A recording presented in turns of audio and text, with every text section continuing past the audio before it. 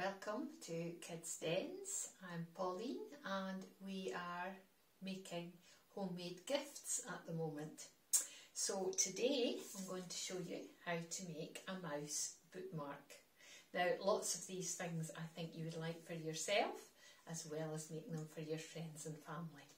So this is quite a quick one, simple one to do. You'll be able to make loads of them to give away. So all you need is some coloured card, some wool or string, scissors, glue and a wee scrap of paper to make the eyes or some googly eyes. Okay, so you get a piece of card about or paper about 28 centimetres by 6 centimetres and then you're going to draw this shape in.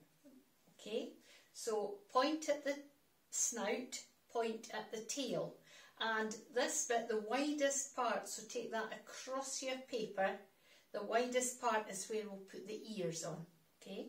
So you're going to draw out a shape like that, okay? The other thing you need to draw out are two ears, okay? And if you're drawing your eyes just on a little scrap of paper or use googly eyes, some little bits of wool or string about five centimetres in length and I've got three. And then I used another little bit of wool to tie it round in the middle okay? Once oops once I had my lengths I just took another little bit and tied that in a wee knot and cut off the long ends to hold it together okay you can kind of tease out the ends of your wool or string to give the whiskery effect, okay? Just like so, okay? Now, so we've got all our bits ready. So first of all, cut out the body shape and then your ears. Now, as I told you already, we want to place the ears at that widest part, okay? So decide where they're going. You might want to place your eyes on too, just to see that you've got it in the right place. So I'm going to put my ears on here, okay?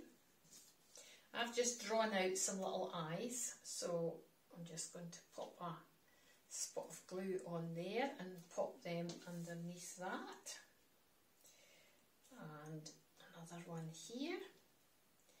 Now, the whiskers will take a minute or two to dry, so a wee bit of patience once we get the whiskers on. Okay, and I'm just going to put a blob of glue on the mouse's nose and pop that on. If you've tied them together, if you've tied your lengths of wool or string together, with that wee bit of wool in the middle. That'll help it to stick down better. Okay, and there you are. You've got your bookmarks. Okay, we hope you have lots of fun making these. Give them to lots of people. All your friends who love to read would love to have one of these. If you could show us yours, get a grown up to take a photo and pop it in the comments section on our Facebook page because we love to see what you've been up to. Have fun. Bye bye.